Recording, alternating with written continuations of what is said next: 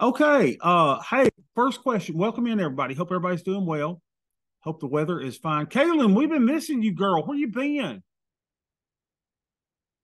I was here on Tuesday. I just didn't have my video on. Okay. Well, we and I was here Thursday. Okay. It's been it's been a lot. What is school? My husband or... left. Um. No, your deployed. husband left you. Her husband left her. Yep. No, tell him to come back. No, come back. Oh no, I'm just joking. It's funny. The boat actually broke, and so they had to stop in Ketchikan and get the boat fixed. So I was like, oh no, if you were closer, I would drive up there. But oh, wow. my daughter broke her wrist the week after he left. So it's like, you know, when he leaves, the levee just breaks and Oh, bless your heart. Yeah, that's rough. God, look at my hair. Everything bad hell? happens when they leave. Potty mouth, money in the jar. Potty mouth, money in the jar. Yes. Yeah, that I know. I'll spend six months with him here and nothing like not a thing not even like a snow a, sto- a snowstorm and then as soon as he leaves like it's snowing we got snow days and what is that what is that that's this is that that's that's more than murphy's law murphy's law if anything can go wrong will go wrong but if it can go wrong when he's away there's got to be another level to murphy's law right there's got to be something else where's shannon at today shannon's not here jawan normally comes in late so we're used to him being there well, for the few of you that come in live, I appreciate y'all coming in. I really, really do. Hey, let's talk for a second about our friend Tom Sosnoff uh, and his um, time with us. Any takeaways from that? I'm curious as to what you guys thought about Tom.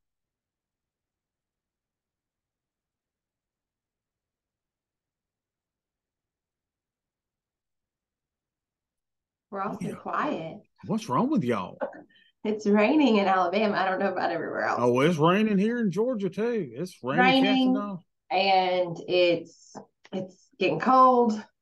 Everybody wants to take a nap. So yeah, everybody wants to take a nap. Yeah. Right. Katie, what do um, you think about Tom? What do you think about Tom? And it won't hurt my feelings if nobody likes Tom too. That's fine. I, I no, he was so extremely dedicated to that like one specific thing. You know, like, and I think that's admirable in some people as far as how they can be just so singularly focused. And it was like business make money let's figure it out. I don't i, I mean I, I my personality type is that one of i want to achieve and i want to do the things that i set out to but i just want to achieve a little bit more and not just work. So it it was a way for me to realize I may not be the most uber successful person that society is going to say, wow, look what all he accomplished. But I kind of looked at what did he miss out on too? Yeah. That was hard. Isabel, what you you you wanted to come in on that maybe? No, I was just agreeing like when when you said that he uh told his kids that Disneyland burnt down, like those are memories that you'll never get back. So I agree that he probably put his family on the back burner too much. Maybe. But yeah, I, mean, I would love to tell my kids that Disney burnt. Uh, that's the last place I want to take my kids. I don't. That doesn't sound glorious and wonderful to me, but I'm not going to tell them why to not take them there. I'm just going to be like, God created better places than Disney. Let's go somewhere else. Well, it's strange too, right? That you go, the man doesn't have to work, but yet he's there, you know, six hours or more a day doing live content, you know, behind the camera. Um, and he takes very few vacations. I wish he would have um, explained a little bit more about like when I asked him what would be the first thing that he would teach somebody, he just kind of bounced around my question. He just kind of said, Well, you got to figure out if you really want this. Like, obviously, we're in financing, so we really want this. But like, I really wanted him to try to like say one specific thing that he would teach somebody that was in this industry yeah, that, that if you really want this is a hard thing because if you don't fully grasp it, how do you know if you want it or not? Yeah, like I mean, I've gotten this far. Like, obviously, I've put in so much money. I, I, I want to do it. If not for the public, I want to do it for myself. So, one of the things I've heard him say time and time again is quick decision making. You know, develop quick decision making. Take a stand, make a decision, and go with it. For example, in his organizations, they don't have extremely long meetings, right? So if you're having a meeting with everybody, you should be able to finish that meeting in 30 minutes or less, which is good. Because think about how many meetings you've gone to. My God, you made me say this class. I can't believe we stay here for an hour most of the day. You know, why don't we get out earlier? Why don't we just cover what we got to cover and leave? So, you know, quick decisions. If you have to have a meeting, make it actually count. Don't fluff and and go on with it. I think that's pretty good. Now, what I think was a real big takeaway that I hope that you guys got was this surround yourself with people that, you know, we always say about that are smarter than you, not necessarily smarter than you, but that that complement you. Mm-hmm. You know, I think that's a secret of your success at your office or your business or your financial planning business that you're going to have one day or your whatever you know, surround yourself with people who are good at what they do and are great complements to what you do. And hopefully, Katie, at your business there, you know, you're surrounded by people who are good at things that you are not good at. I'm finding a way to bring those people in because we, with us, we're kind of set up in regions. So you have these people, and a lot of people try to assert themselves as that. And I've had to tell a few of them, like, I don't respect the business you're building, and I don't want you to even like encroach on me. Back off. You know, and I'm at that point now where I've I'm learning more of what I do want and what I don't. And so it's it's pushing out those that I don't want around me because you when you come into a profession pretty new, you kind of try to connect with everybody. And then you learn who's building a business that I respect, who is in it for the money and not their clients. And unfortunately, when you get into this, you will find those people. And it's on the inside looking out, it's so obvious is who those people are. But unfortunately, from the outside looking in, it's not. You know, and those are people that I don't want around me. And unfortunately, I don't want to serve their clients because I don't want to take on that mess. But in my office, I do. I mean, y'all, y'all kind of seen Sharon a time or two, and I love Sharon. She's not here right now, so I say all of that. but she compliments me in a way that I can serve my clients and be focused here. And I know that the fluff that I don't bring, because I'm very direct, she is going to make my clients feel what I don't. So it, it balances us. Katie, I bet that you don't have a problem, and this is where a lot of us get into trouble. I bet you don't have a problem telling people no. No. no, I don't. So it, well, yeah. I do with some. There are some, and and and my hardest no is for people who are trying to get started, and so I have had to develop a way because I can't take on tons of new clients because that burdens me down from being able to serve those that are more established. But I don't want to tell a brand new investor no because if I tell them no, who's going to tell them yes? And that's the hardest no for me is because I know what kind of future they can have. And so, in order and I think I've shared this in order for me to work with new investors, I say you've got to invest in yourself. And that means you're setting up an automated savings of some amount that we determine is is capable. And that's if they say no to that, then I can easily say no. Well, and I bet though that you probably rather than just telling them no, drop dead, that maybe you have a referral or someone that you can refer them to, right? That can help them. You know, you say, I would love to take on you as a client and to help steer your financial future.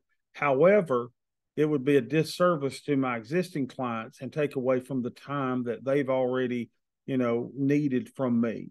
However, I am more than happy to refer you to a qualified professional that could help you. I bet that's probably something that you do.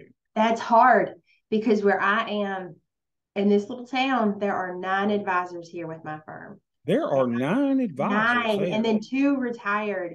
And so you can't even come into this town without a book, you know? And I'm like, where do I refer? Because a lot of those advisors are referring to me. And I have had the conversation with a few of if we need to sit down, I think that it might be an online platform for you that's not going to be as expensive. I've had that conversation and it feels weird because you want to do right by your firm, but you've got to do right by someone else. And I had one who was like, I refuse it, Katie. You will be my advisor. I was like, okay, you know, I'm expensive compared to what you, and she's, she's like, but I need your guidance. And that's, I have to have the accountability partner. And that's what I'm paying you for. So, okay, because I, I where do I refer? I can't. So that's why that no is very hard, Bobby. You know, the client that did that to you, that's what I did to my personal trainer. You know, I go into the gym, I'm the fat guy in the gym. They only think I'm going to be there six weeks. They, they're going to sign me up for a year contract. And then I sign up for personal trainer. And so the fitness director takes me through, shows me everything, and does a workout with me. And I said, okay, I want to do personal training. She says, I'm going to set you up with Theo. I said, no, no, actually, you're not. I said, you have already seen my naked feet when I got on the scale to, to do the body analyzer. I said, I, uh, I'm missing one toe. I had to have it amputated because of my diabetes. I said, You've seen that. I said, I'm not showing that to another person. You're going to be my trainer. She says, I don't have time. I said, Well, you'll make time. And so we've been working together for a year now. And she's going to be my trainer until I'm in my 80s. Right. So, you know, and, and she'll often say, I'm glad I took you on. I didn't accept no for an answer, you know, from her. So, you know, it was hard for her to say no to me, even though she said no initially. That's but, the, the hard thing is when you've got somebody who like, I'm willing to say no. And then yeah. you come up against somebody else who's not willing. I mean, they're willing to say no. And you're like, well, who's going to win this here? And it works out when you both have the future forward plan and best interest at heart. But Isabel, Kaylin, Katie, and I'm I'm calling on three. We got uh, you know twelve people in here. I could call on anybody, but I call on y'all because I can see your faces. Um, talking back to Sosnoff, you don't have to create a billion dollar business though to be more successful than Tom, and I hope everybody sees that. You don't have to have a billion dollars of business to be successful. My family is more important than doing everything that is necessary of me to build the billion dollar business. I coach softball. I'm here with my kids. They'll be coming in, you know, any minute now. Um, I go to the school events. I go to all of that. And to me, I wouldn't trade that for anything. And they don't like it or appreciate it now, but they will when they're later on, you know, that I don't have to work. I don't have to do a job. I'm retired other than me teaching the classes that I teach. Um, I'm in a great position, but it's not that I want to create the billion dollar business. I'm very comfortable. And I would say, in many aspects, uh, because of the balance in my life, that I'm very successful. So I hope that you guys, from listening to someone like Tom, that you don't take that you have to have a certain monetary amount in order for you to be successful. Any comments on that? I just want y'all to see that the balance in your lives gives you success.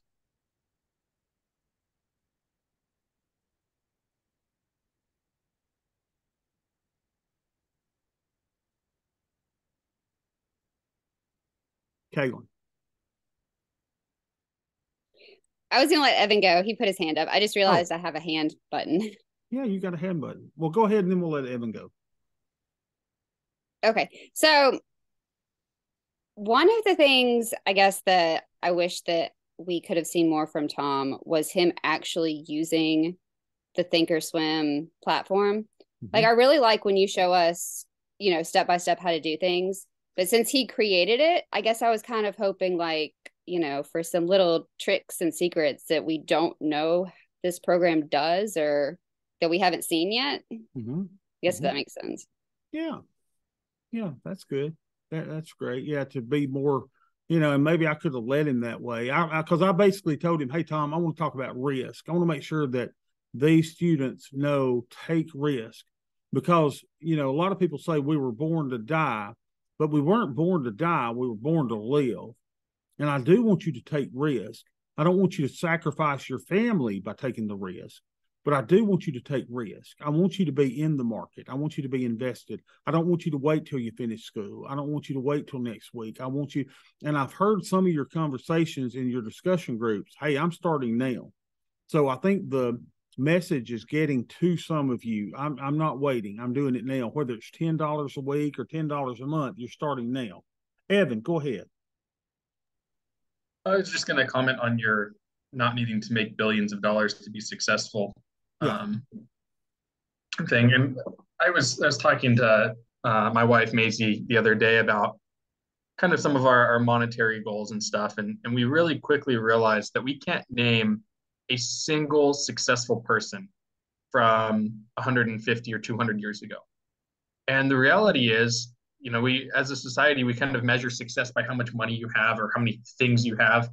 But when you die, that money sure it gets passed down to your family uh, eventually that money runs out or people kind of lose track of where it came from and nobody really cares that you made a billion dollars or two billion dollars.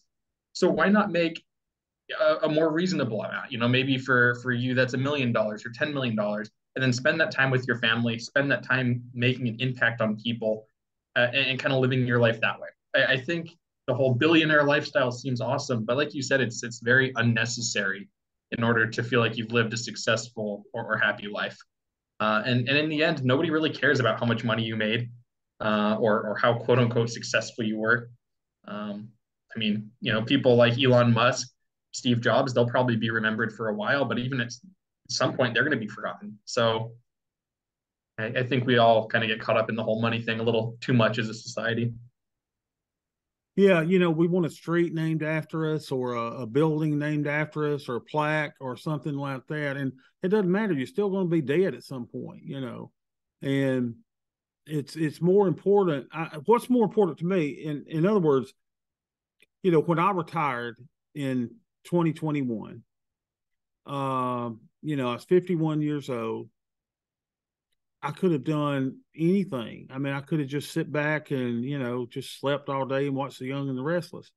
But I love teaching and spending time, you know, pouring into other people.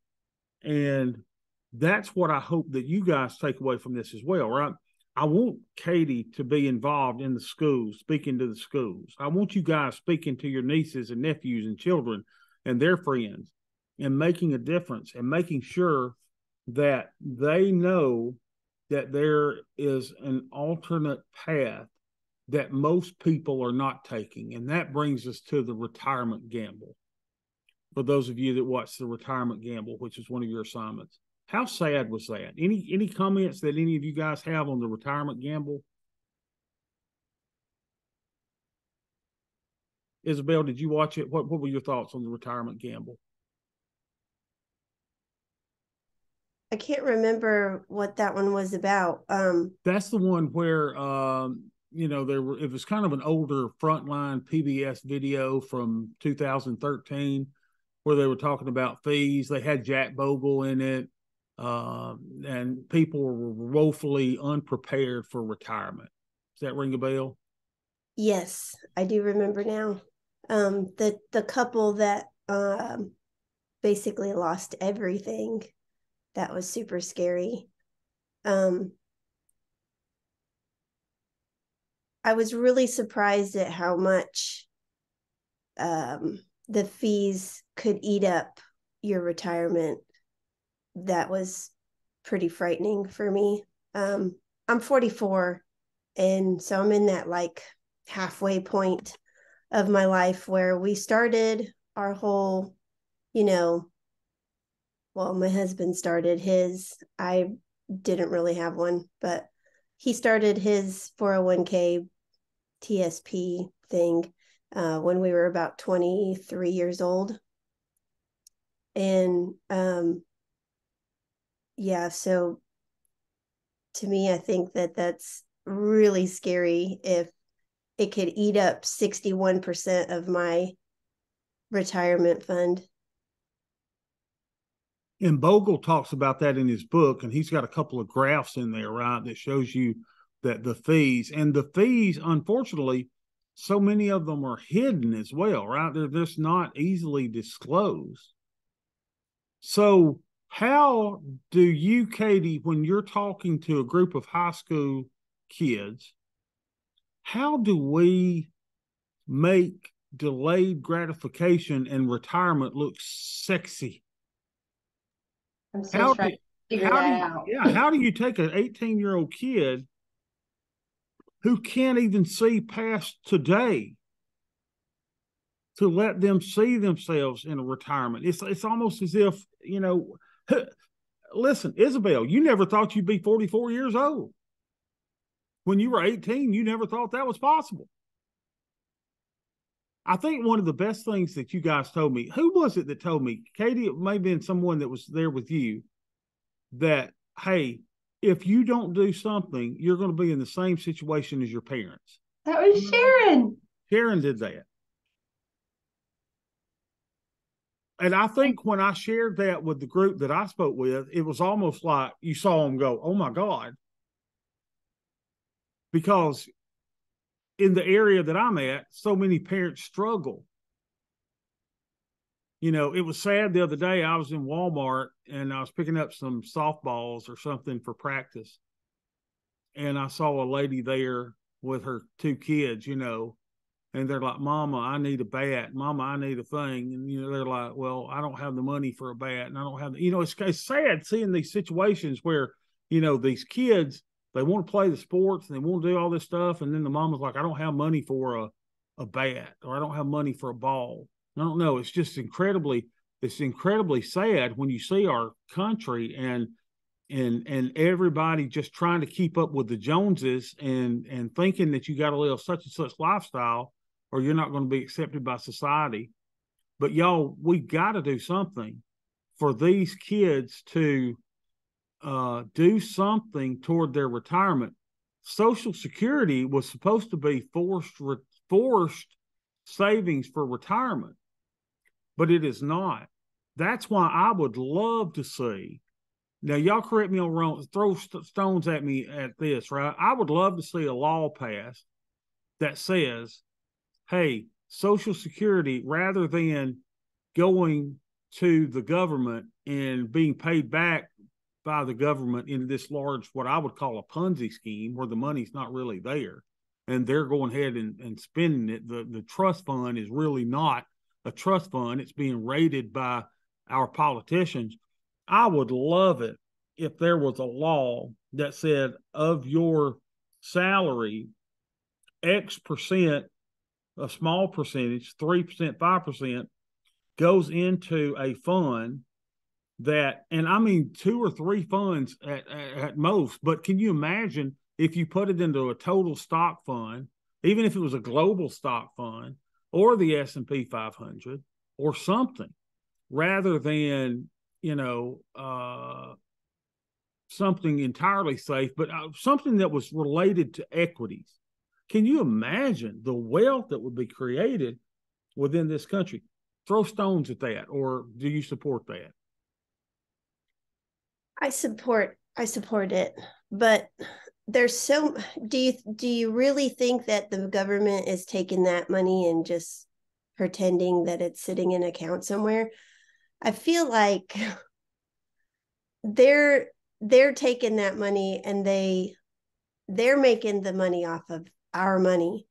So, and the reason why I think this is because when the government for us, the Air Force, when they do allotments for my husband's pay, um, we set out X amount of money to go into our savings account. Well, he would get paid on the first and he would also get paid on the 15th. Well, they would take half of, let's say it was a $1,000 that they're putting into our savings account. They would take half of it on the first and then they would take half of it on the 15th. And then they would make one deposit on the first into that savings account. Well, in my savings account, I could have been earning 500 or interest on that $500 that they held for 15 some odd days when they should have just taken the 500 from the first of the paycheck and the 500 from the 15th of the paycheck and just made two deposits. So they're stealing my money or our money. But I told my husband, stop all the allotments. I'll do the transfers myself because we were missing out on that 15 days of compound interest, basically. Oh, beautiful. Beautiful. I think the hard part is that until we educate our society in a way to manage money properly, which is going to be generations of undoing bad habits. If we allowed this, and even if we set it up as law, too many people in society would find a way to wreck it or to do what they shouldn't do and then still become a burden on society. So we would create another problem. That's my stone. Like, for instance, I have somebody who called the other day and said, I need to take money out of my IRA. And I said, For what? Because she's in her 40s. For what? And I don't get mad if you get mad at me for asking, like, what is that your business? Because I need to know if it's going to get a penalty or not. And I said, This is going to incur a penalty. Are you sure you want to do this? Well, yeah, I have no money in my emergency account. i'm like, This is not what you're supposed to do, Katie. Mm-hmm. so that like I get mad because I'm supposed to protect them from themselves, and sometimes they won't let me. But that's where I think that if we had something where it was more hands on, some people unfortunately will still find a way to make the wrong decision. So, as far as getting kids, high schoolers, whatever, to think about the future, I think it kind of starts to trickle back down as something that we should teach at an even earlier age. So I've told y'all I do a lot with middle schoolers. Um, I sub a lot of the classes for that's what's paying for my um to take the financial planner exam. So it sucks, but it is what it is. So I got these kids and I'm like, please just do your work. Like that's all I'm here for. Like I want to teach you math. Let me teach you math. I'm begging you. And they're like, no, I don't want to do it. And I'm like, well, we're starting to plan for high school. You know, what are you guys going to do when you get in high school? What are you going to do after high school? And it's like nothing. They're just, their eyes glaze over and they're like, I don't care. I'm just worried about today, tomorrow. So even little things like that, it's like they can't wrap the head around that what they're doing today is benefiting them tomorrow. They, I get a lot of, um, well, this YouTuber and that YouTuber, this TikToker, they don't have to make money. And I'm like, you're not that TikToker. Like, I don't, I don't know what to say to these kids. And, you know, it just builds. And then they get in high school and it's the same thing. And then you got people like me that go speak to them, and I'll probably never get asked back to the school again because, you know, I asked how many of them were going to college and you know, there's like 40 people in the class, and probably 99% of them raised their hand. And I said, That's entirely too many. And you should have seen the look on the teacher's face. Oh, you're telling these kids they shouldn't go to college? I use that too. So I think I've shared with this class, my brother's 15 months younger than I am. And my dad promised me he would he would put me through school whatever it took, he'd put me through school because his parents were educators and he didn't get that, surprisingly. So I did everything I could to scholarship and then he paid the rest. And he also had a tree service that he opened. He he was a steel worker. They closed the plant. He opened a tree service. So after I finished school, he gave the tree service to my brother. Well, my brother worked with him all along and he developed a skill he could climb. So he realized I can be a lineman. And so Jeff went on to be a lineman, and then he started getting all of the extra certifications. So he can do hazard, he can do all these things. And on the side, he has this tree service. And he's, I joke with my clients and, you know, we talk about 529s and what can you do? And, and I'm like, please don't discount how successful people can be. And I think we're going to see that even more because of how few people are in trades. But gosh, my last year in pharma, I was like top of the top. And he made the same amount of money with his tree service. And I'm like, but I'm supposed to be the successful one. So I'm still battling to get there. One day, one day, my goal is to be more successful than my my college not educated brother. Yeah, uh, Matt says my uncle works for Alabama Power and does that same thing on the side. They make a killing. Hey, I had to have a two hundred and something year old tree, maybe three hundred tree cut down, forty five hundred dollars. They did it in a day, forty five hundred dollars. You know, in a day, it's amazing. So, why do we as a society propel the myth that you must go to college? And I feel weird talking to you guys who are here in college, but why do we why do we continue to insist that our kids they've all got to go to college? I don't think we're insisting. I think our generation isn't so much. Most of our class, I would, I would.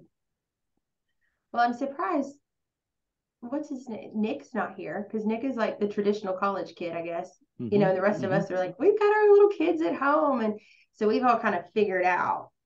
And my husband was non traditional. So he got his bachelor's and he, I think he was 33 when he finished. So he realized this is what I need for the next step.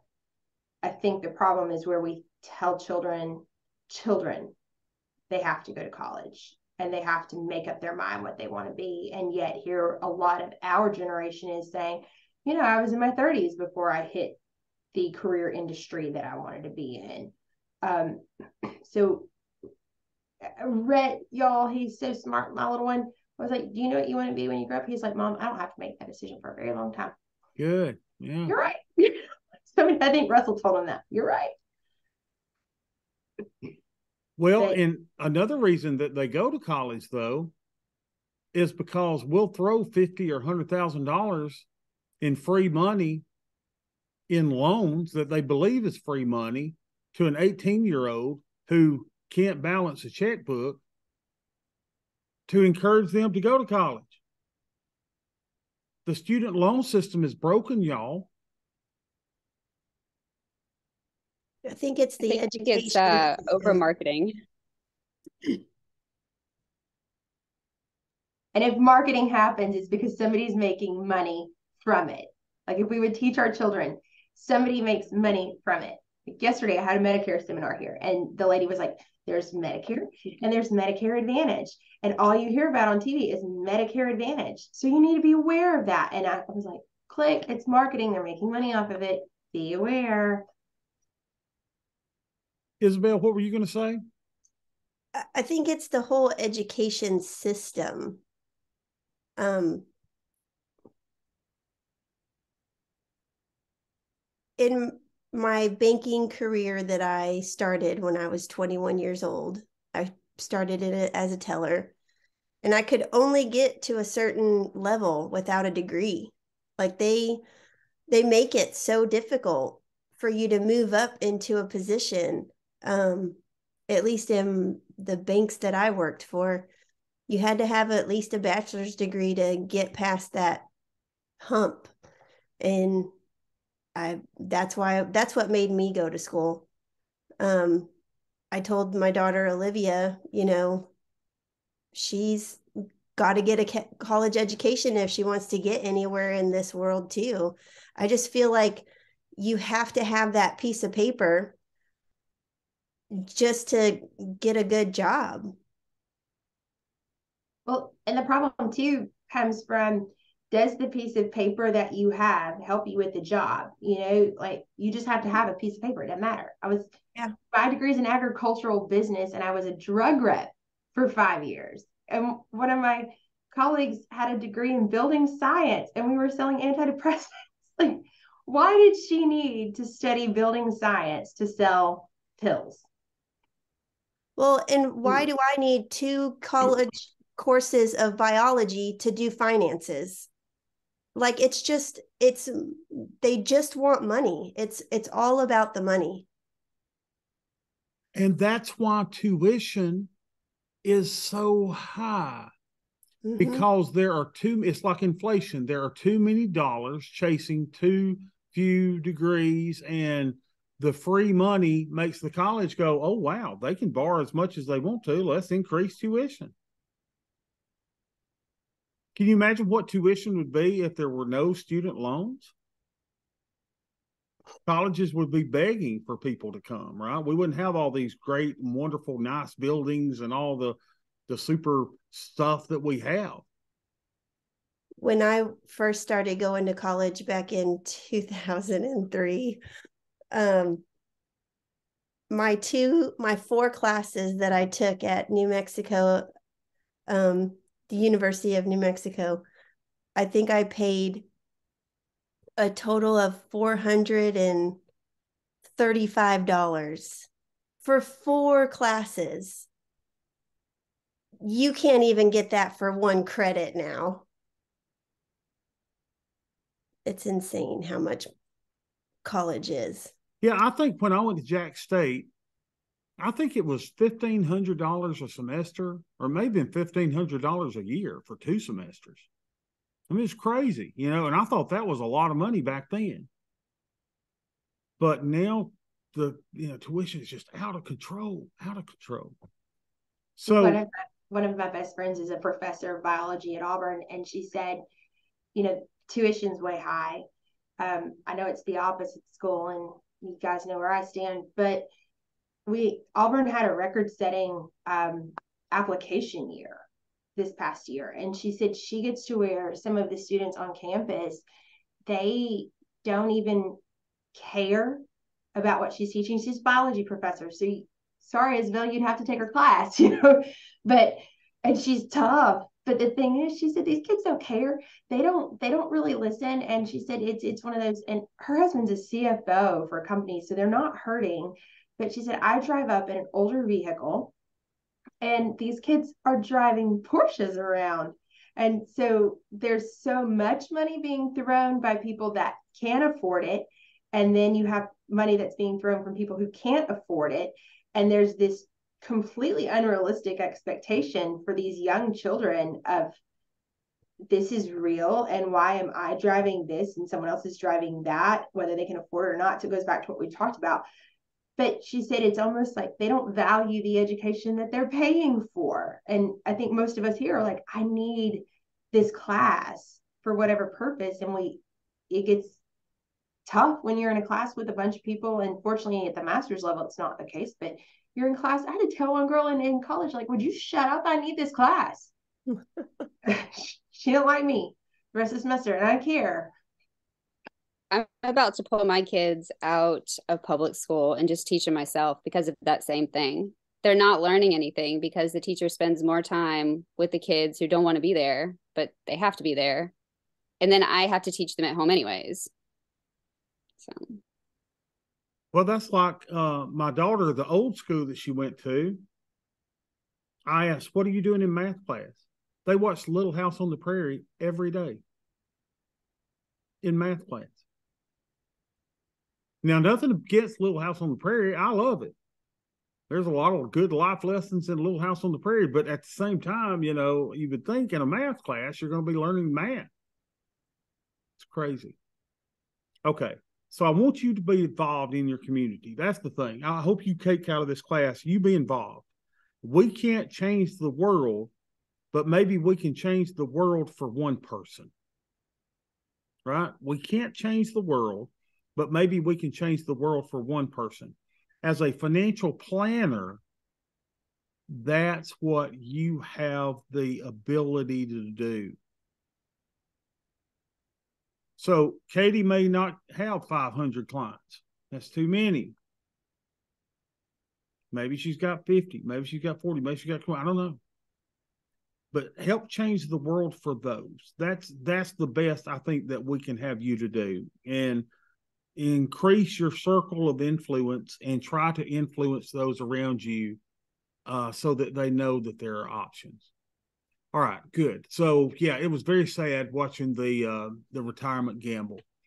Let's talk about uh, one of your discussions on hedge fundies' excellent adventure. Any comments on that? And I'm assuming that everyone has done that assignment yet. If you haven't got to it, just tell me. There's no, you know, we all have grace until April 30th when everything's due.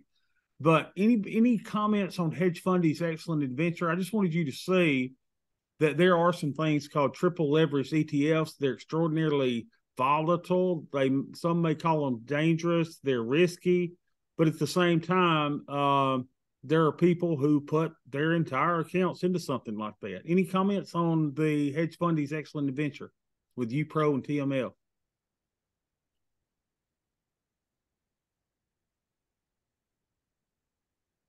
I think I have to bring mine up in order for me to remember what I put on mine. Okay. Mm, So I just want to clarify Mhm. it's not some kind of specific strategy like the wheel, it's just an a, a separate like index fund, right? Yeah. So That there's two. Just One of three them- times. Yeah, three. A UPRO is like three times the S and P 500. So if the S and P 500 goes up one percent, you make three percent in UPRO. If it goes down, If you it goes lose. down one percent, you lose three percent. And so the rationale is is over time the market goes up. So UPRO is is um, something that works quite well in markets that go up.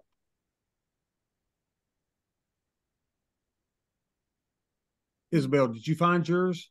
I did. Um, I put what I put in mind was I'll just read it out loud. Hmm. I thought that in our class lecture, Dr. Gaines said that having bond having bonds in your portfolio were not necessary until you were in the pre, uh, preservation phase of the investing life cycle. I think I remember you saying that.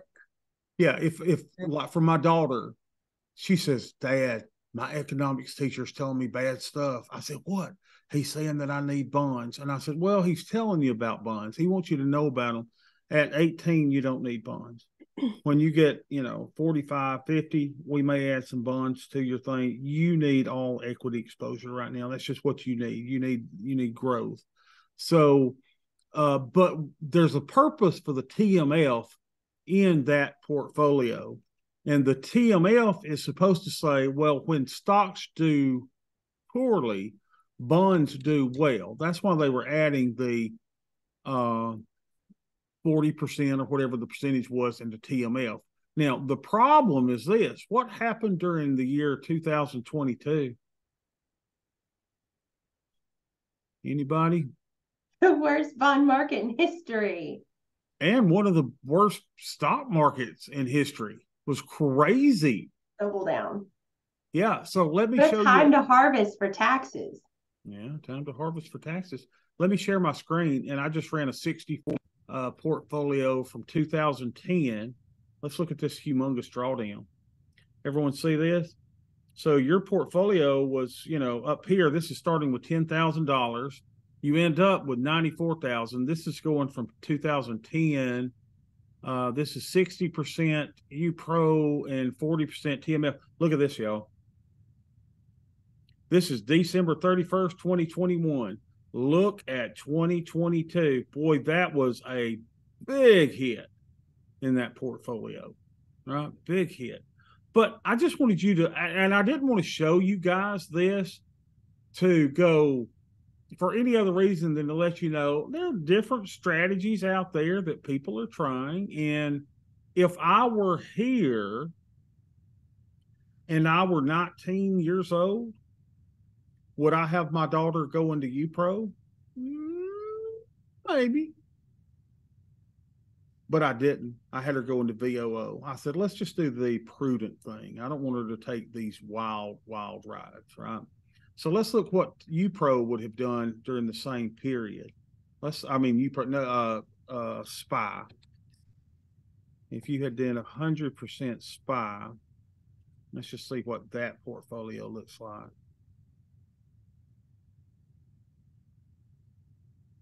You wouldn't expect the the the volatility of that. Yeah. Right. So here's portfolio two, and you see that it's a much steadier increase, right? Steadier increase.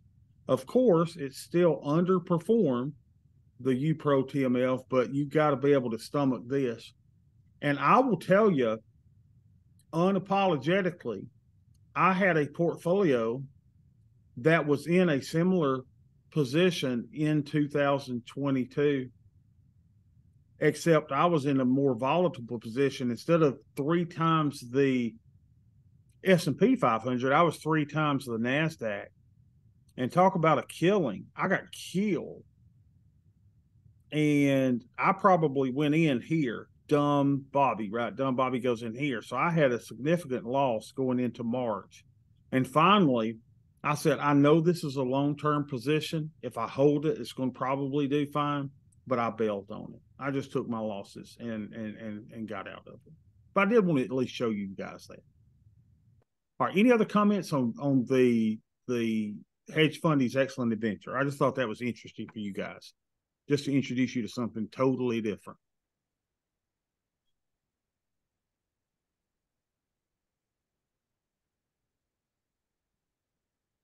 All right, how are you guys doing in uh, the little book uh, by the little book of common sense investing by Bogle? Everybody making progress in that?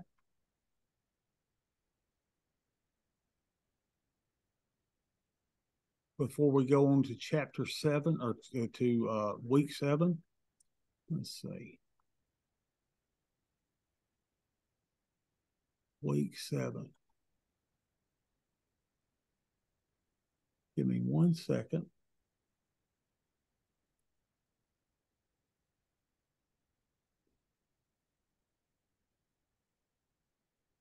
Week seven. All right. How many of you have completed uh, week seven discussion your life's masterpiece? You're a magnificent human being. Now allow your magnificent self to follow these directions. Take a blank sheet of paper, draw a circle on the paper, take about 10 minutes to transform the paper into an artistic masterpiece that conveys your life story. Once completed, upload your masterpiece via Blackboard. Comment on the masterpieces of at least two of the classmates, and I look forward to seeing your art. How many of you completed that? Is, does anybody mind sharing that? Can you share your screen? I think I've got it set up so you share your screen if you can. Do you have that, or do you might want me to go in and see if I can find yours? I have mine. Katie, can you share it? Yeah. Let's see your masterpiece. That was drawn at the Starbucks in Guntersville, Alabama. Oh wow! Okay, talk to us. It looks like glasses, and we got all kind of stuff. Walk us through this. So that's my my oldest. I used to be really good at art. He's six. That's my baby. He's almost twenty one months. Um, I'm Christian. I like music. I'm married to Russell. What's that ugly sign right there? I can't understand that. Where you go? Okay. Got you. And I, I threw the A down there and it's crooked, like most people in the state of Alabama on their cars. They can't put the Alabama A on their car straight. They always make it crooked. So I did it like that. Do you know how to tell the difference between the Alabama A and the Atlanta Braves A? Yeah, the the tilty mohawk. Yeah, the Alabama A has a mullet, right? Yeah, yeah, the mullet. It has a mullet. Yeah. Okay. Good. Sharon said I'm gonna get kicked out of class. Um, she is a massive Alabama fan. Um, and then so this is my my my personal life. I love like cowgirl boots or bare feet, um, and good country music. That's my thing. Um, I wear glasses all the time. And then over here on the left side, my degrees in agriculture. So that's not a train, that's a tractor. My first job out of college was with a John Deere dealership. This, of course, is the market. Um, those are pills and needles, everything for pharma. and then I was at Starbucks. I ended up doing a lot of meetings at coffee shops. And I think I responded, I think it was Isabel's post, but it was like, don't spend money on coffee. And I was like, if that $5 of coffee is going to make me $50 that day, I will spend $5 every morning. Um, so, and of course, more music, listening to music throughout the day.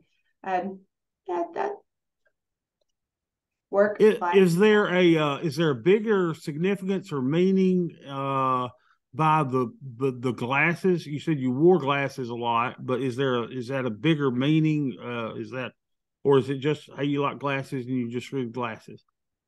I mean, I could draw a circle, and so I have the work life balance. So it kind of is a, a bridge between the 2 Mhm. Um, where I work and where I live, they're 45 minutes apart. And I, I joke with my clients, I'm probably not going to run into you at the grocery store when I'm not wearing makeup. And that's why I don't really want to live in this town. You know, they laugh about it. Um, if our school system doesn't get better, we might live here. But I was sitting at Starbucks and I had taken my I normally wear aviators, but I had taken this pair of glasses off and I'd set it down and I drew the circle and I was like, how neat would that be? That's very good. Very good. Can someone else share theirs? Isabel, you have yours or Um, hang on. Let me find it.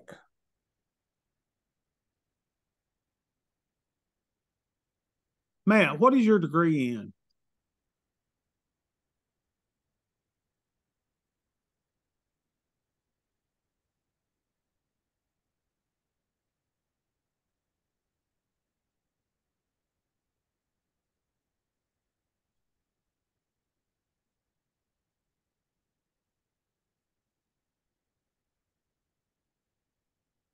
Oh, okay. Awesome. Okay. Talk to us.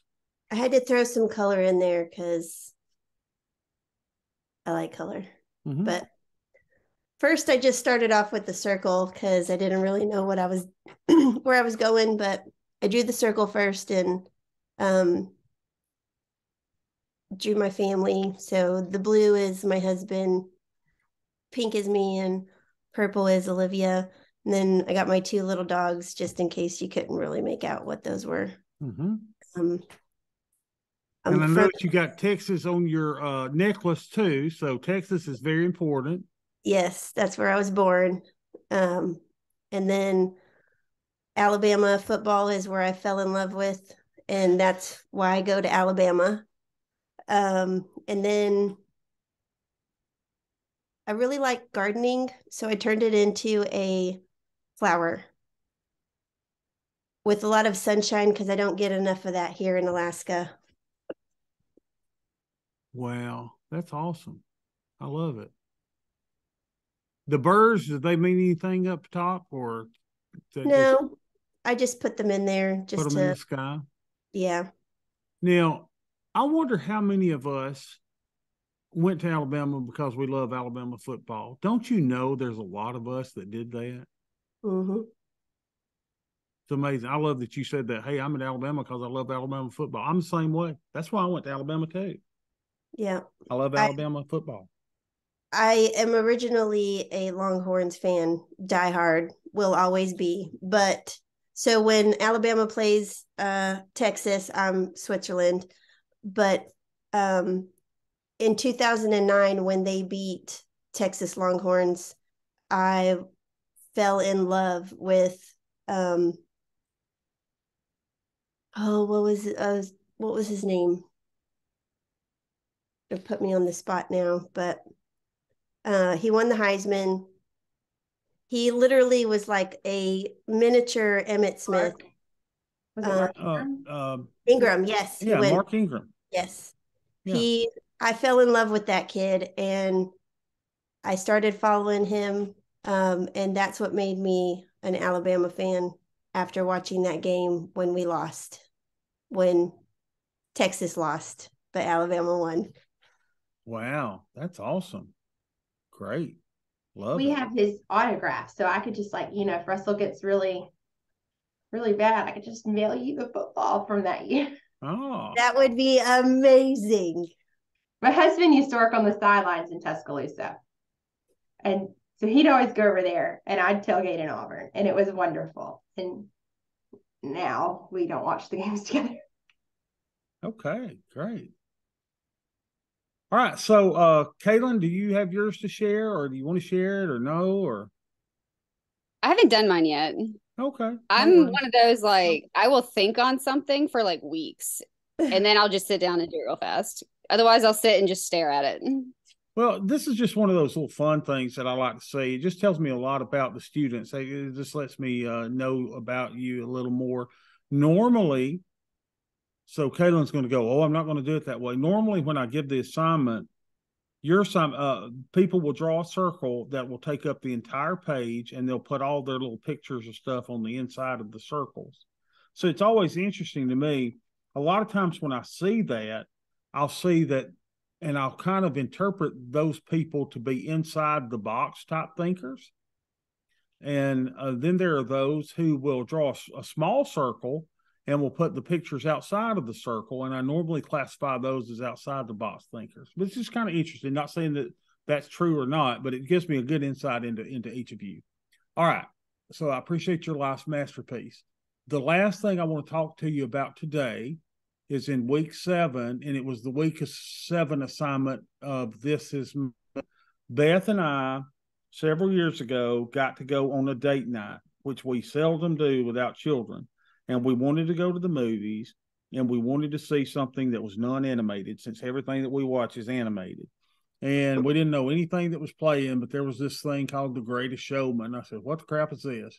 And we went in, and it soon became my favorite film of all time and we I had you to watch a behind the scenes video of Keala Settle. Tell me about the experience that you had with that. She played the bearded lady in the film. Uh, have have you watched that yet? Okay, Katie, tell me about it. So I don't know if you've read mine yet, but it's pretty like in your face. I was actually going through a discrimination case. Someone had stepped a little too far out of the line with me being female at work. And so I just, I let it all come out through my fingers when I was typing that, oh, that oh, wow. letter. I can't wait to read it. so it, it was, I'm looking at it and it's like, I can stand firm in the fact that you know things are okay. And so i looked at trying to connect this back to the markets and how to do that because i think that was like how you're supposed to look at it. But um it was also a matter of making sure that my boys know to treat women. And i don't like to get off on that but it's what i was going through. Sure. I just, i i want to make sure that women are treated fairly. I think I had like two things that I completed for you that week. I'm sorry, but it's I'm not sorry. Um it's I'm looking at it, I was like by design women seek security. Um we need to know that from our male counterparts. And then I was like, take a look at what females need versus um the biggest risk that you take and who you are and yeah, it's it's in there.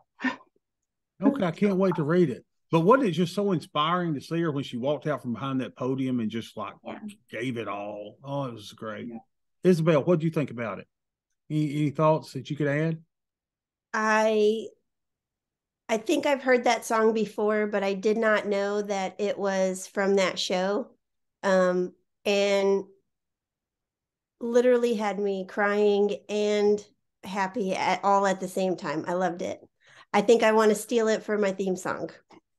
Yeah, I don't blame you. Kaylin, have you had a chance to watch it yet? I did. Um, I remember watching the movie and like in the middle of hearing that song, I'm like Googling it, like adding it to my playlist. So that's like, you know, going to work, get pumped, like, it's okay. These kids are going to run you over, but.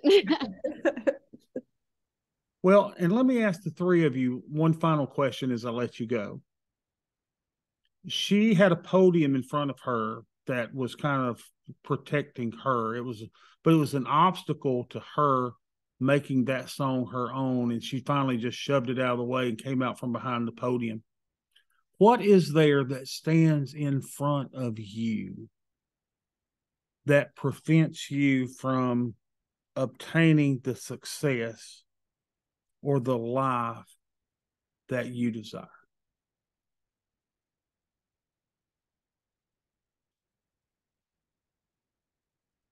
Yeah, maybe that's part of what resonated with me was because with what I was going through, I was pushing that podium out of the way.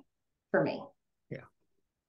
And it was a comment was made how am i going to be a wife and mother and um and think that i would be successful in this job when i got interviewed and then that same person made the comment of what had i what did like you, you did the most detrimental thing you could do by getting pregnant like you can't Hmm. undo this Hmm. and then he went after my clients and so i finally was like see you later and i don't i look at it it's like i don't have to compete with him No. because that's lowering myself to compete.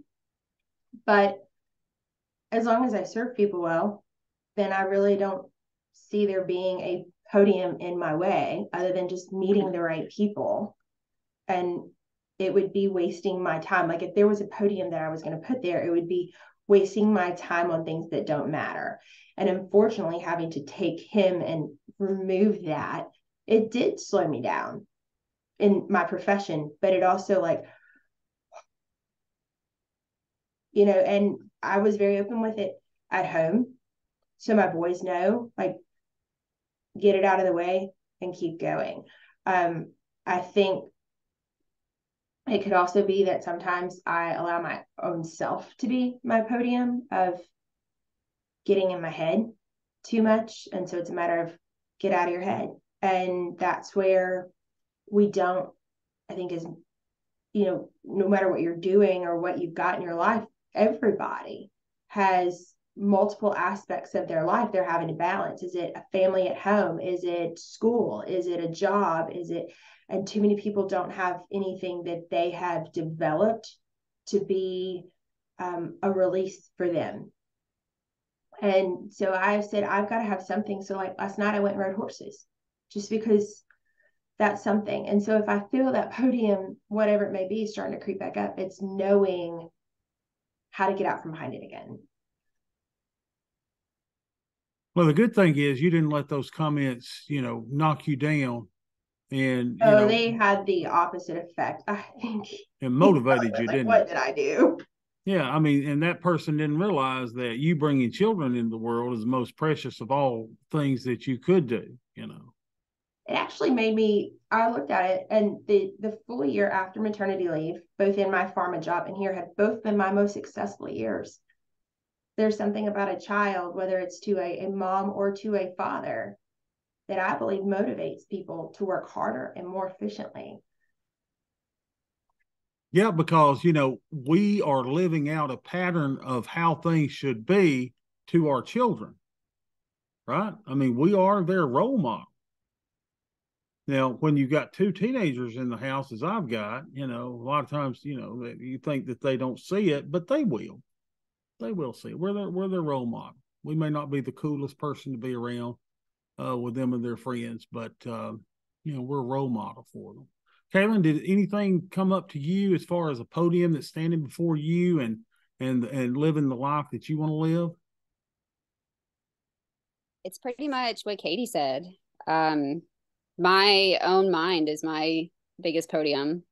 Like I've always felt like if I didn't have the knowledge right then and there that maybe somebody else did, like I don't want to say that they were better than me. I just felt like they were smarter than me and they, I don't know, should kind of take the lead on things. Mm-hmm. Not really in that way, but it, it would just hold me back, like thinking, oh, I can't meet them where they are. So that was kind of it. It was like, you know what? No, I'm capable of learning anything that anybody else is. And whether it's today, whether it's tomorrow, but just kind of opening that mindset up, that podium removal was like kind of where I'm at right now is just thinking that I don't have to wait. I don't need other people to help me get to where I am. Like, if I'm going to do this, I have to do it myself and I'm going to do it now. And your own toughest critic is you, right? And so, yeah, it, sometimes our mind tries to limit what we can achieve. And so, allowing ourselves to get outside of that and to achieve things greater than we even thought we could accomplish, I mean, it's, it's really an incredible thing. You know, I, I had my wisdom teeth taken out on uh, Monday. And while I was on the Valium and the laughing gas, you know, the nitrous oxide, man, I could have run through a building if I needed to at the time, you know. And I, I think about how oftentimes we're limited. We limit ourselves in what we can do. So, you know, be able to think outside that box. That's why I had you guys to do that thing. I want you to think outside the boundaries of what you think is possible. Because I think you can all achieve extraordinary things. I really believe that. I mean, you're, I, I know from the three of you, and there's a lot of people in here, and of course, I pick on you guys because I can see you, but uh, you three are very extraordinary people who are capable of so much. It's just amazing to see, uh, you know, what you're capable of. Isabel, anything for you that that you felt like was a limiter on you or your achievements? Um, I think it's probably the same myself. I just get into my own head and I struggle I struggle with myself sometimes. It, for me it's my because I'm basically only go to school right now, but um I get really stressed out if I'm like not doing well in a class and well, you're not stressed by this class because you're doing no, great. Not at all. Like this this class, I I think I tell you a couple of times within my um discussions that this class is the best class that I've had in Alabama so far. Um but yeah, I just for me it's it's my own self.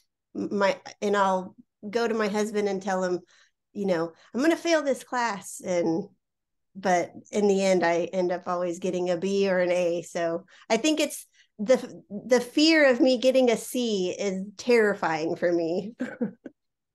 Well and release that pressure release that pressure. Um i remember you know i was valedictorian in my my high school class i only made one B in college, and it's because I missed the final. I didn't know they did a final on a different day, so I got a zero on it, and I made a B in speech. Uh, made all A's in my master's program, and I was putting too much pressure on me. When I got to the PhD level, I said, "Screw this." Oh, I'm I said, not going I, I said, "I'm ready for a B." I said, "Give me a B," and I made two B's. You know, and the cool thing is, when you get your PhD, guess what? They still call you Dr. Bob, you know, I mean, it's not, it's like they didn't go, oh, you made two B's or you made a C, you know, uh, yeah. Isabel, relieve some of that, re- relieve some of that stress on you. I try. Yeah. I try.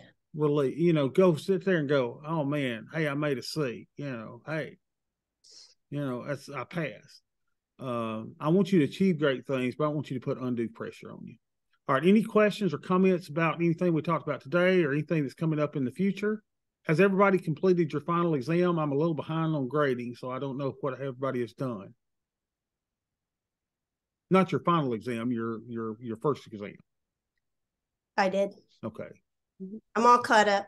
You're all caught up. Good, good, good, good. Well, if you're not, don't worry about it. Uh, April 30th is our day, right? All right, guys, roll tide and uh, go Eagles or whatever they say over there. So I have a question for Katie. Yeah, Kaylin's got a question for Katie. Yeah. So like an hour, it's probably more like two hours. I might have fallen down a rabbit hole. So I um I started reading about charitable remainder trusts. Huh? Do you is that something okay? So I understand that monthly payments can be taken out to the non-charitable beneficiary and then at the end that money would go to a charitable organization does that money have to go to a charitable organization or would it could you set it up to go to your beneficiaries so i don't do too instead. much charitable remainder trust but we do a donor advised fund and it eliminates mm-hmm. a lot of the legal aspect of that and that one can be set up to where it's our it's irrevocable so it cannot mm-hmm. come back to the beneficiary in the fund that we have. Um but i could like if i am charitable and i pass i could set it up to like whichever one of my sons is more charitable and he would become essentially the custodian over that money and to which charities it goes to. Does that make sense in a way? Um it does yeah. I think I'm looking for something like really specific. So You wanted to come yeah, back to your, that answer that helps. have you yeah. a estates yet? I have, but the problem was when I took it, You all of the terms too, were like foreign to me. So now I'm hearing them again, and I'm going, "Crap! This would have been a great question to ask had I really grasped the concept." Mm-hmm. Basically, what I'm looking for is a trust that I can put money in annually, I guess. And that was kind of what I hit a roadblock with some of them was it was a one-time thing, and you could only build income within what's already in there. So I was looking for something that would I could keep putting money into, yet get the monthly payments for either the beneficiary or for the charitable organization. And then at the end of the term, the money would either come to me or go to my kids, not just be stuck with the charitable organization that's mine, you know, and that would be the end of it. Probably you know better because my where my mind immediately goes is if you get some kind of deduction or tax write off for that, then you're not getting that money back. But I I took taxes at the same time I took estates last semester. So I don't Yeah. know what I learned. Because I don't know if you were in that class too. I'm like, what just happened? Uh yeah, I think I did tax planning last semester too. yeah. So And I learned a lot in that class. charitable remainder trust and because we do the donor advised fund and it's different i'm more well versed in that Okay. but you can't get the I'll keep um I'll keep digging my rabbit hole and if I have any I have any more specific questions, I'll ask you next week. Yeah. Okay, guys. Thanks. Y'all have a great week. We'll see you next week. bye Bye bye.